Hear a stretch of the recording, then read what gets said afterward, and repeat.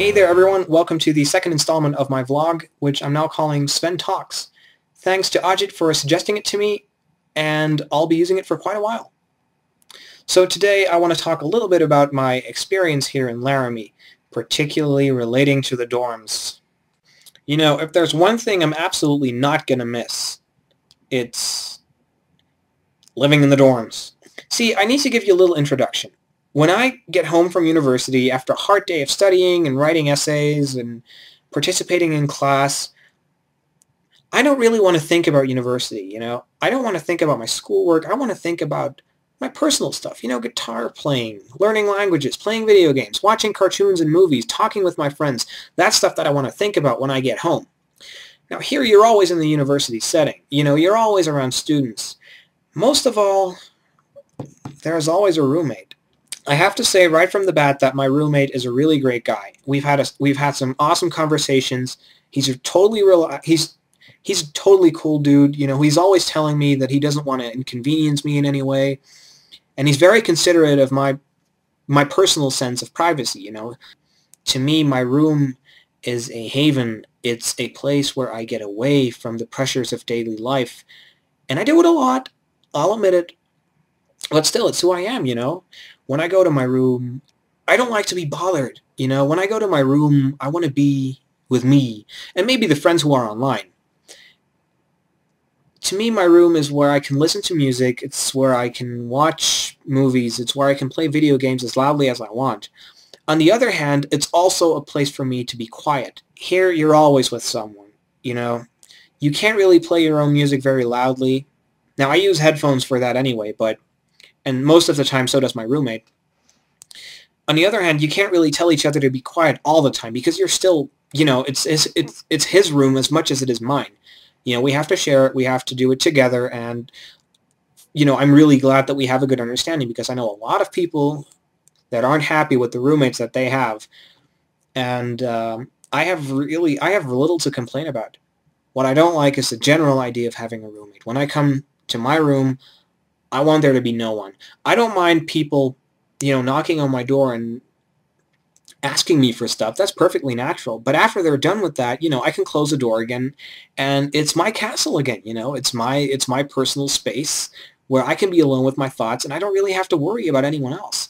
Here I always have to take someone else's feelings, someone else's sense of privacy into consideration. And that to me is just something I don't think I can ever really get used to. I've never really felt any homesickness since I came here, mostly because I knew from the start that it was going to be temporary, only for a couple of months. However, I miss my room. I miss my privacy. I miss being able to do what I want whenever I want it, and most of all, I miss being alone. I like people. I love hanging out with people. I love talking to people. But after I'm done with that, when I come back to my room, you know, I just want to I just want to be by myself. So that's one thing that I'm not going to miss, you know. It's been a great experience. And it's it's I have to say though there's an upside to this and it's that it taught me a lot about myself. And you know, sometimes at home I'm a little bit cold occasionally or distant when my mom comes into my room to ask me something. And I think that's going to change in the future because I've shared this one room with another person for so long that I can really, I've learned to appreciate those moments when you really can be alone. And really, I'm not that bothered anymore by people walking in randomly. And that's something I'm, you know, I've learned something about myself from this experience is that I can be patient with people if I have to be. And it's also that I appreciate being alone, but I can get used to people being around me. You know, one thing that it's taught me is that back home, the few times that my mother does knock on my door and ask me something, it's really not that bad. And I think in the future, whenever she not, does knock on my door and ask me something or ask me to come up, I'm not going to be bothered because I know that after that, I have the room to myself again, you know? In fact, if I think back now, all the times that I get a little bit antsy whenever someone wants something from me, I, I knew nothing. I didn't know anything. You know, I, I felt like people were invading my privacy when they texted me, when they called me, or when they knocked on my door. That was nothing.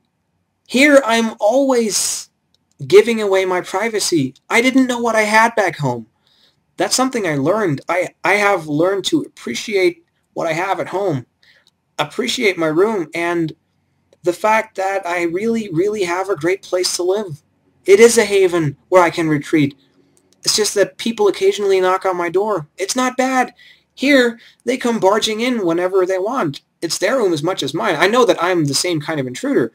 And my roommates actually said the same thing. Starting next semester, he's going to be here after I leave. Starting next semester, he wants to have a place of his own. And I don't blame him because I'm not an easy roommate, you know. I'm I'm not an easy person to live with. People who know me, they can attest to that. Please don't. So yeah, um, I just wanted to share with you this little rant about sharing a room in Laramie. I mean, the whole experience has been great. But, you know, if there was ever any hint, any trace of homesickness, it would be this little issue. It would be having to share a room with someone else 24-7. That's really the only thing that I really miss.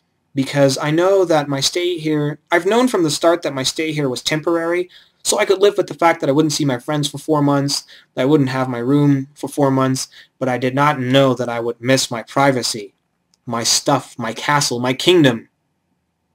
I noticed that after the first week. And, you know, I only have three weeks left here. And I'm going to be really glad to have my room again. This experience would have been an absolute 100% 10 out of 10 triple A plus if I'd had my room here in Laramie. Then it would have been awesome. Then it would have been absolutely perfect. Now it's wonderful.